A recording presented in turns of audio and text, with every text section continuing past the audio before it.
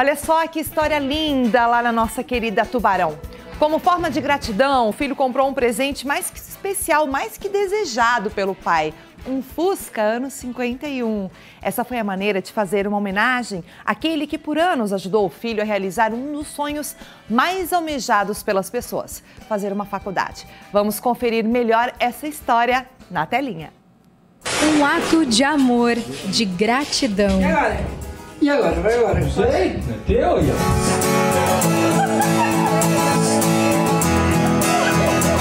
As imagens registram o um momento. Aos 71 anos, seu Rogério é surpreendido com um presente mais que especial do filho, o tão sonhado Fusca.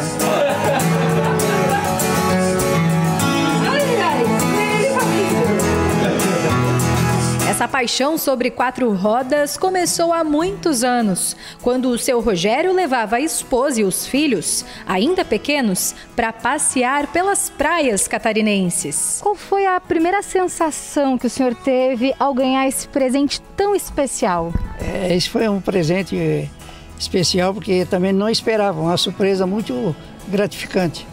A surpresa é para ter que ter o coração bom. Que Naquela época, ele também já tinha um Fusca, mas o tempo passou e a família precisou vender o carro. E o sonho de ter um Fusquinha novamente nas mãos ficou adormecido no coração do aposentado. Foi então que o Fabrício, o filho do seu Rogério, decidiu ir atrás do presente para o pai, como forma de gratidão. Durante anos, os dois trabalharam juntos confeccionando próteses dentárias.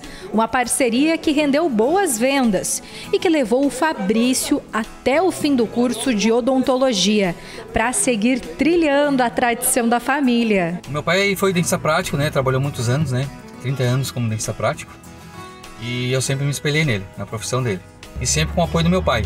A gente trabalhava no laboratório, eu ia para a faculdade e à noite eu virava a noite ali trabalhando no laboratório e meu pai também ajudando. Oh, meu sonho, cara. Oh, não, é Aí, Fucão. O seu Rogério é um verdadeiro apaixonado, ó, pelo Fusca. Inclusive, ele já teve alguns aí ao longo da vida, mas foi só agora que ele ganhou esse presente mais que especial, uma forma de gratidão, que com certeza para ele é muito melhor do que um carro zero quilômetro. Esse presente aqui, esse Fusca, é bem melhor do que um carro zero, então. É melhor. Não tem carro zero que vai superar isso aqui. Vamos dar uma volta então, seu Rogério? Vamos dar uma voltinha. Então, então vamos, vem com a gente. Agora é só aproveitar o Fusca, seu Rogério. Afinal, esses são aqueles presentes que não têm preço, têm valor.